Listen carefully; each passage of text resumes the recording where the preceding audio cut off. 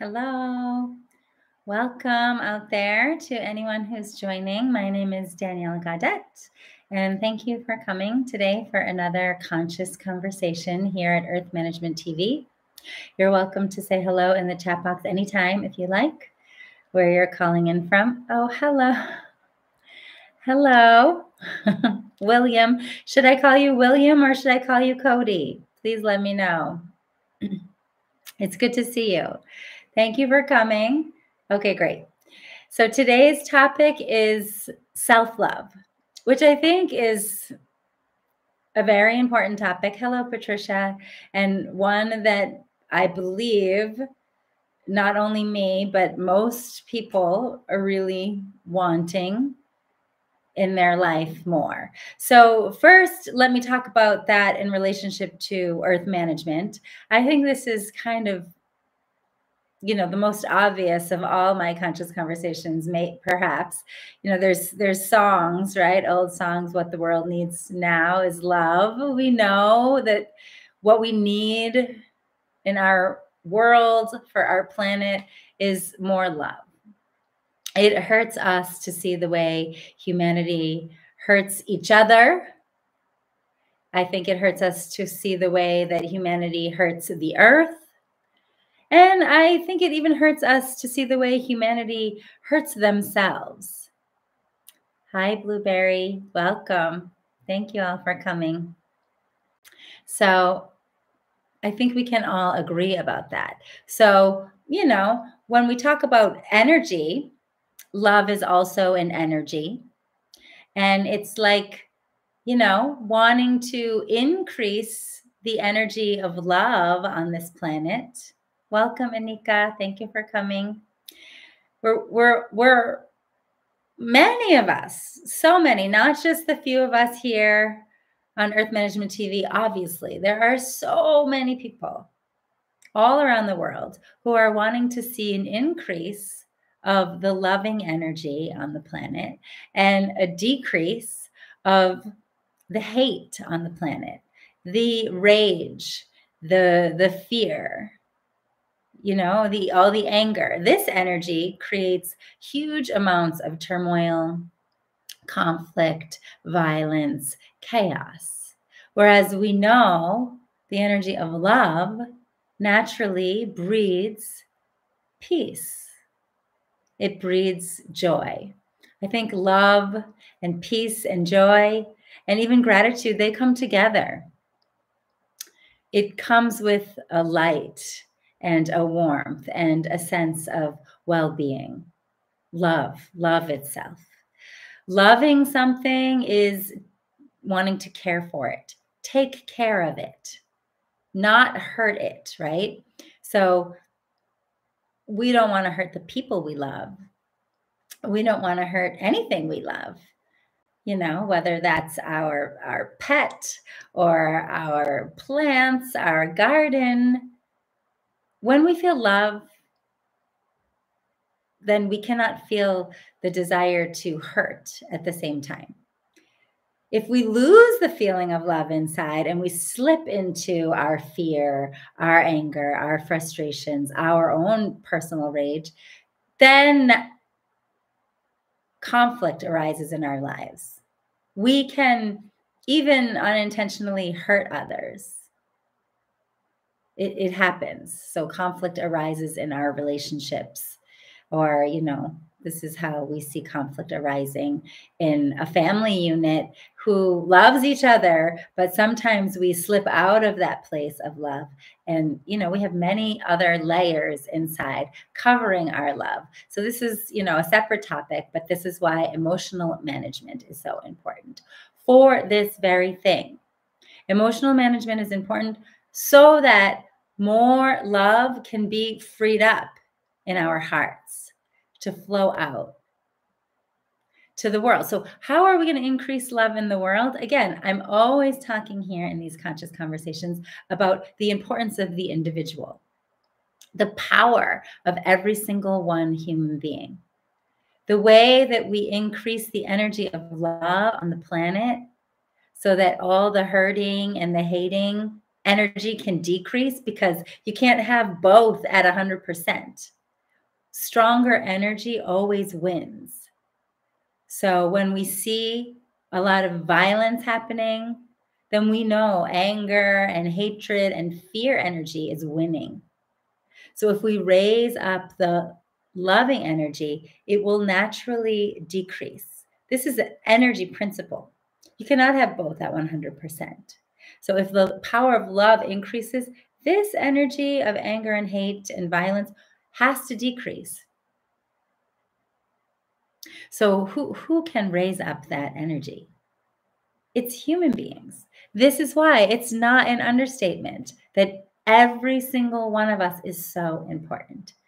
And how we live our lives, not only, again, I'm always talking about this here, not only the actions that we're doing, because of course, kind actions are very important, loving actions, very important. We want to see more loving actions in the world, right? So, but that begins with the love in my own heart, me as an individual. If I'm full of anger and frustration, even if I'm full of anxiety or if I'm deeply exhausted, it's very hard to feel love, right? Can you agree? What, even when we're just depleted and our, our energy is low, we're much more prone to negativity, to criticism, and it's really hard to let our love flow. So the the critical point here is me, my own heart, my own inner world. Am I existing in a space of love? And when I lose it, can I get myself back there? So today's topic, self-love, this is the key. This is the key.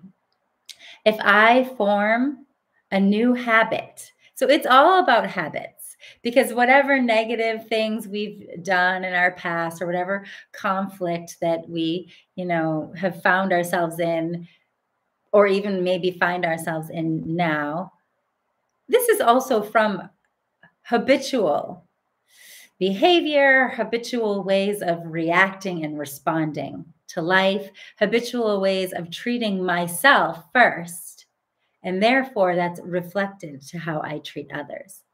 So we can bring this in, in, in to a very, very micro level. Self love. Am I loving myself first? If, if I'm able to do that, when I'm able to do that, even if it's just for a moment, I'm generating the energy of love inside of me. And naturally, just through my existence, even if it's just one moment, that energy of love mm-hmm. is expanding out into the world. When you know energy, when you realize this, we're all living in this very interconnected energy field, this life force, then you can see how connected we are you know this just in your own personal experiences, right? If you meet a friend or a loved one, you come home, whoever it may be, and let's say they're very angry. And then it's really hard for you to keep a loving, positive vibration because you feel that anger. So you could have been in a really good mood, but now you're feeling something negative and you're struggling with that. It's like two different energies and the stronger energy wins. So sometimes our loving self is soft and the anger is overpowers. But the the opposite is also true, right? So sometimes if somebody is a little bit in a bad mood, feeling down, feeling low, and then somebody comes they or they interact in some some reason some way with someone who's very loving that love can touch them and change their mood entirely it can help us release you know if we were feeling negative if we were feeling down we were feeling off. Just love feeling loved being loved being around someone loving having a loving exchange can totally shift our energy in a positive way. This is how impactful we are. Hello, welcome, Kay Nos. I'm not sure your name, but this feels great to hear. and to change since I live in a stressful environment. So environment's not easy. It's not easy. And it's not easy to change our environment. And it's not easy to change our world. It's it's we can feel so powerless. But it's possible to change myself. It's very possible and it's very within my own power, my own hands to change my relationship with myself. And this is why I really want us to take a serious look at this this term self-love, which I feel like is so common. We hear it so often and we know we need to love ourselves more and self-love is important. It can almost get watered down. It can almost get a little like distant from us. Like it's too big, maybe too too vague or too popularized, too much of a cliche. Yes, bumping into others' energy, negative energy is very hard. Okay, thank you all for your comment. And I see Blueberry too saying that you've had these moments. So self-love, I I worry it can become too much of a cliche like that. Just mm, like numb i can become numb to it. Yeah self-love right right. Yeah the self-love exercise self-love class okay self-love journal self-love book about self-love. And then we can become a little bit um, desensitized right? But right now today what i want us to do is really take a very sincere and honest look at your own relationship with yourself. How much are you really loving yourself inside? How much are you feeling the feeling of love towards your own self first, which will naturally emanate to those around you? So it's something that we need to check. Because as you're saying, you know, we can get really distracted by others. That person's being really negative. Oh, that person's anger is really bothering me. Oh, I just heard about this thing on the news. Why are those people doing that? Oh, those people need to stop. And we become, you know, what I'm always talking about here again focused outward, outward, outward. But then we lose our love. Now I'm annoyed. Now I'm angry. Now I'm criticizing. I'm blaming. And then I've completely lost my feeling of love. If I check in with my heart, my heart maybe feels just blocked or a little numb. I don't, I can't sense my heart. Or maybe I just feel a little like agitated, annoyed, like grumbling to myself. This happens very fast. It's a delicate system. This energy of your heart, the heart is very sensitive. It's very fragile. We need to treat it kindly so, the same way you would treat someone who you loved, we need to practice treating myself that way. And this is like vitamins for my heart. This is like nurturing and nourishing my own heart of love. Like if my heart was a, a plant or a flower, that is giving it sunlight and water and feeding it with good nourishment. Really being careful and cautious and paying attention, first of all. How am I talking inside my mind? This is the first thing to check. How am I talking inside my mind? Am I complaining all the time? Maybe not to others. But even if I'm just complaining in my mind, oh, I hate it when that person does that. Oh, why is this like this? Oh, why are people doing that? It's my heart that hears me. So from that moment, my love is shrinking and my annoyance is growing, my negativity, my frustration, my anger. We have to be really honest with ourselves. I want us to take like a hard look at this. In my personal experience with my own self love, which let's just say loving, loving myself, loving relationship with myself, I feel like I have felt that the most important thing is to be really honest and take a really hard look.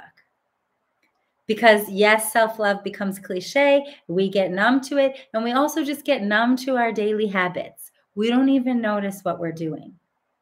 we lose sight of it. We're busy and the world is busy and noisy and we're distracted and we don't even realize how we're talking inside, how we're mumbling and grumbling or maybe complaining. What is my inner talk, my inner voice?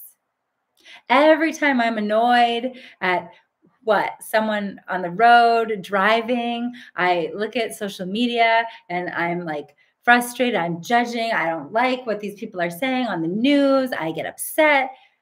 How's my heart? How's my heart? We're treating our heart kind of in a negative way at that moment.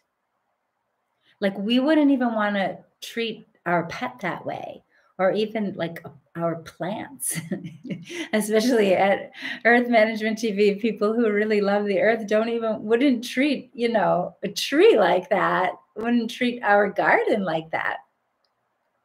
So we have to start to think of my heart as this living, breathing energy. You can think of it like a flower or a plant. It's a or or even a being. It, you know, we have to care for ourselves. Be be more kind in the way we talk to ourselves first of all. Clean up the way we are talking inside our mind.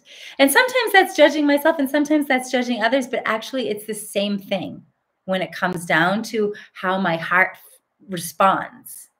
It affects my own heart in the same way actually. So it's not only about oh i can put myself down but i'm kind to others or i'm kind to myself but you know others need to change. This affects our heart in the same way. Let me pause for a minute and read some of these.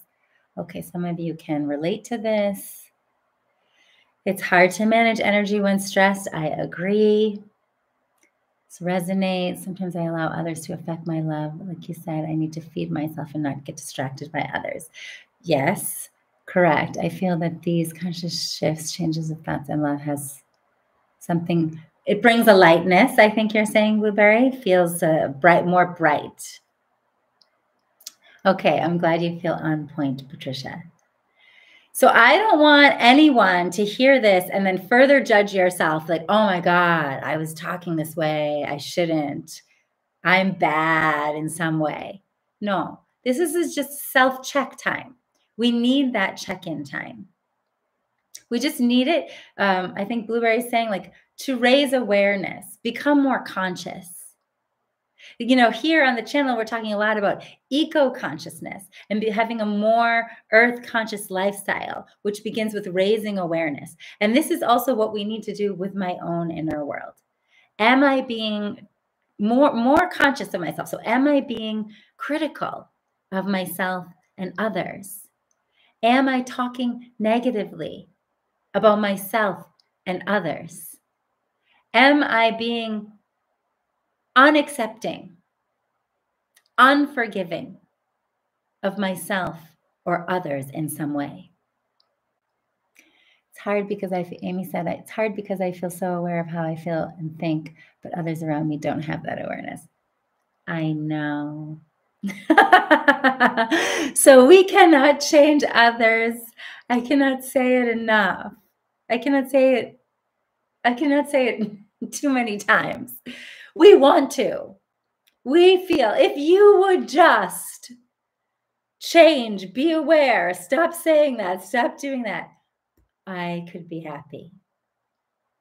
But if we live like that, then we're powerless we're powerless to make a positive change. And what I want to say is, I want to put the power back in our hands.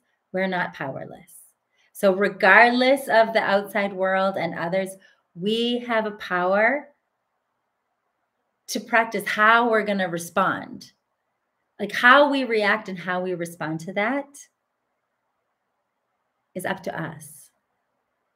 So that's why it's about making a really like hard determination and I'm going to I'm going to be talking more about choice in a future conscious conversation, but it's really a lot about choice. Making a very hard like all of us need to right now and again later today and again tomorrow morning when you wake up and again and again and again keep making a very strong choice I want to be loving to myself. I need to protect my own heart. I need to choose more kind ways of talking to myself and others because that also hurts my heart. I need to just choose to practice more patience with myself, more compassion. We've talked about this here on the channel, more empathy and compassion for myself and others. So, the more you try to do it for yourself, naturally it will leak out to others. But why I keep bringing up others is because sometimes we can think, no, I'm good, but you, you need to change. But when you look at that in terms of the energy field, that hurts my heart just as much. That's like unloving to myself. Being mad at somebody else, blaming somebody else is is hurts me. Hurts me. Again, all the things I'm talking about are very interconnected here. I've talked also a lot about forgiveness, did a whole webinar on it. And forgiveness is not anything to do with others. It's releasing that toxic energy for being more loving to myself. So even if we want to, I kind of want to say, like, forget about others and just focus on your relationship to yourself. However, unfortunately, it's very interconnected. So you have to be aware when you are angry, when you are blaming, criticizing, frustrated, so tired of somebody, how does that make my heart feel? So perhaps this is a good exercise to start today. How does this make my heart feel when I talk like this, when I get mad at this person? And how can I breathe more love into my heart? What do I need to do for myself? Okay, I see some comments. Okay, Cody, there's a part of me in my brain that I cannot get to calm down some days. I could sit there all day smiling and relaxing and it will just not stop. yes. I understand.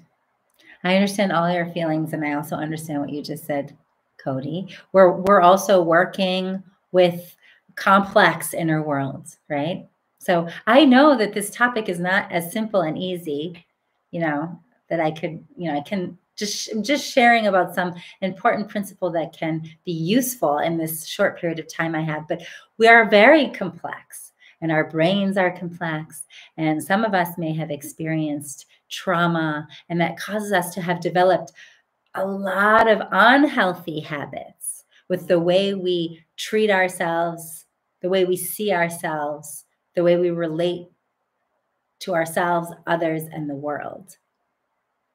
This is true. And this is also something that we have to work on just lovingly. So, even what I would say to Cody is okay, but imagine if you knew someone who also had that problem, same problem. And someone, it's someone that you love very much. What would you say to them? What would you say to comfort them, to console them? Maybe you would say, It's okay. It's okay. I get it. I have that too. This is compassion. This is empathy to myself.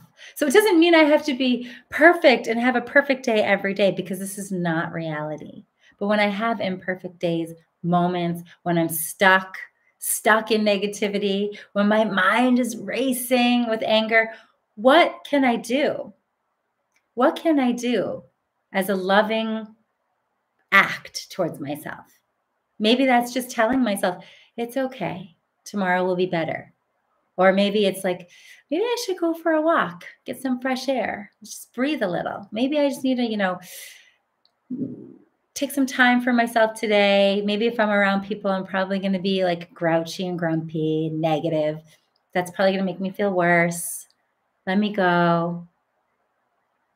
Walk by the river, walk in the forest, do some breathing, do some energy exercises, go for a jog, whatever it is eat this kind of food. Like, what can I do for myself to be more loving to myself, even when I'm stuck in a negative space? Even there, if I decided I want to be loving to myself, each day you don't know what's going to arise from inside. You don't know what's going to trigger you. You never know. I never know. But how I respond to that, how I deal with that, I can still respond in a loving way. Okay, Blueberry, in daily life, it's often change from anger to humor. Even this little change affects the situation. okay, so yes, okay, Blueberry, that you bring up a good point humor. So this is where we can use social media in a positive way. You just Google search some, you know, comedian or something that makes you laugh. That's a positive, loving way to take care of yourself what what can we do that's loving to myself? Sometimes we need to sit down and breathe and be with myself and sink in and feel and feel. And other times we need to just call a friend and have a light-hearted conversation or watch a funny movie. Or go you know dancing bike riding something that makes you happy. Cultivating a loving relationship with yourself and I know that Cody, you said you're imaginationally challenged. So, but you have people in your life. So you have to observe when someone in my life who I love, okay, or, or a person or a plant or a pet or anything that I love, how do I treat it? How do I treat it when I want to show my love to it? We need to practice turning all that big love that all of us have for others onto myself.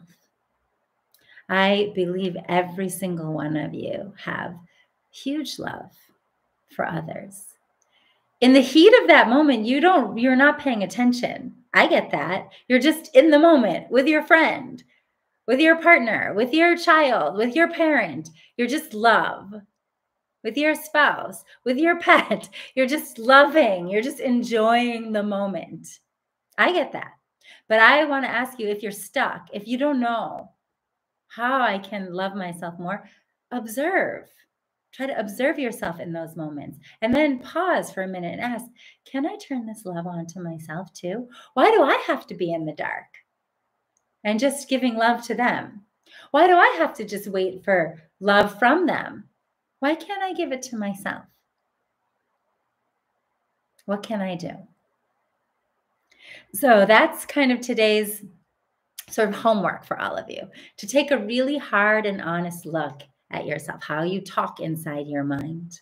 Is it negative? Is it positive? Does it make you feel more loving or does it make you feel more frustrated, angry? And then asking, what is something loving I can do for myself? In my experience, many times the body, the heart responds. It gives me an answer. Other times I have to pay attention. Wow, I was really loving to that person. How can I turn that love on to myself? And if you have no idea what to do at all, what I want to recommend this is an exercise I love to give to my students when they're really struggling with self love. I think this is a great exercise, simple look in the mirror. Okay, so this can be every morning when you wake up, or every night when you're getting ready for bed, or anytime throughout the day when you go to the bathroom, you wash your hands. You have many times where you're in front of a mirror. It's not have to be extra work for you. There's many times where you're standing in front of a mirror. Just look into your own eyes in the mirror deeply the way you would look at someone who you're really trying to listen to them, you're really trying to understand them. You're feeling sorry for them. You want to feel them. You want to hear them. You want to let them know you're there for them. The way you would look at someone like that, I want you to look into your own eyes. Just stand there, look into your own eyes, breathe, feel your body, and say as you look into your own eyes, I love you. Say it over and over, at least three times. I would say three to five times, and really feel your body. Some of you might feel, no, I don't, I can't. And then you know, mm, this is my starting point. This is my current loving relationship with myself. Others might feel, oh, it's awkward, it's uncomfortable. I don't know. Okay, that's what you have to work with. You need to open that blockage. It's something that needs to be released there between you and your loving relationship with yourself. So I really recommend you just try it. And I am certain it will help you discover something, awaken something inside. Either, oh, I need to breathe and relax and let love into me more. Or you can feel, wow, this was a really good check in moment. Now I feel like a love injection and I'm ready to go out, go out of this bathroom and re engage. It, it will be a powerful experience when you do it sincerely with feeling, with the feeling. Look into your own eyes. And then this is how we bring love into the world. I know it sounds so small, like really just saying I love you to myself in the mirror. This brings positive changes to yourself, your health and well being of your heart. And this naturally, through our interconnectedness of energy and consciousness, we create we start to create a brighter ripple, more positive ripple. But we don't have to do it for that. And we don't have to be upset with ourselves when we couldn't do that. We just do it for me because I've decided enough is enough. I was hard on myself enough in this life. I've hated myself enough in this life. I've judged myself, compared myself, criticized myself enough, blamed myself enough in this life. I would like to start loving myself from now. And you just start again. And you start again later today, and you start again tomorrow when you wake up, and you start again tomorrow and the next week and the next month. But when once you make a decision, now it's begun. And there will be a change. There will be a transformation of love inside your heart. And I am certain that will have a positive impact around you and for this world. So let me see. Patricia says, I am learning to show myself grace now. If I can give others grace, why not give it to myself? 100% agree. This is exactly my point here. Thank you for saying that. Okay, Blueberry, thank you. Small things that make a difference in this world, Patricia. Yes, exactly. So this can be seen as a very, very small thing, but this can also be seen as a very, very huge thing. Just know it's so important. It's important for your mental, emotional health. It's important for your physical health. It's important for your spiritual health. It's important for your relationship health with others, your family health, your community, organization, workplace health, and it's important for the health of this planet and humanity. You're welcome for the reminder, Amy. Yes, those of you who have ever practiced with me before have probably heard me say that, but we we can all remember again and start again. Anytime we forget, we can do it again. And then each time you will see you are evolving, you are changing, you are transforming, your love is growing. I really want you to see that and feel that. I want you to receive the benefit of that. You deserve that. You deserve the love in your heart for yourself to be fulfilled with that love. I think that will that's the beginning of making our world a better place. So I hope you will try it and see how it goes for you. Practice and feel free to let me know how it went. And I will continue more conscious conversations that can help support these concepts going forward. Okay, thank you all so much for coming today. So nice to be here with you. I am sending love out to you and wishing you the best in your self love process. Okay, take care. Thank you. See you next time. See you next Tuesday. Bye bye.